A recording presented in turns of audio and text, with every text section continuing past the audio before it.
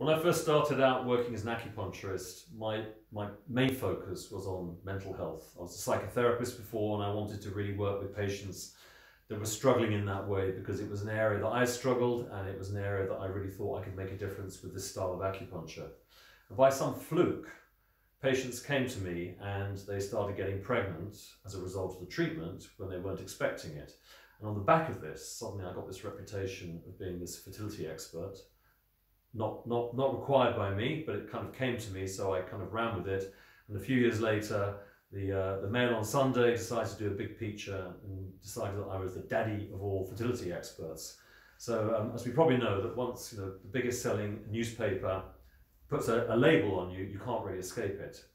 So having said all that, people are people and we treat people.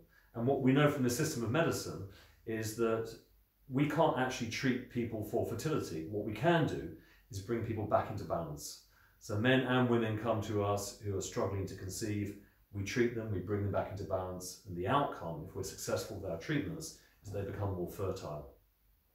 So for many years, we've worked independently. Um, our patients also go to IVF clinics, and we've not really had a formal relationship with any of the clinics because there's always been quite a big divide between the Western medical approach to fertility and what we offer. And of course, we know each other.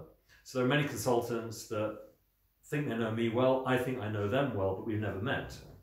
And recently we were approached by a clinic, the Evewell Clinic, and one of their main consultants is a consultant, um, very nice man. I haven't met him, but I, I feel like I know him from my patients, uh, Colin Davis and they said that we should probably formalize this relationship. And so for the first time, we want to acknowledge that we're working with an IVF clinic. We do actively refer people. I've been referring people to Colin for years and years and years. And now we're really pleased and honored that we're formalizing that relationship so that our patients know that we're actually saying you should go there if we feel they need that help. And equally, they're suggesting that people come to us. So I just want to acknowledge this uh, big change for us in, in, in treating and looking after the women that come to us, and also to acknowledge the good work that the Evewell do and all the other IVF clinics. These two sides work very well together. It's not exclusive. We, we never expect people to come to us and just stick with us and hopefully get pregnant and then move on if need be.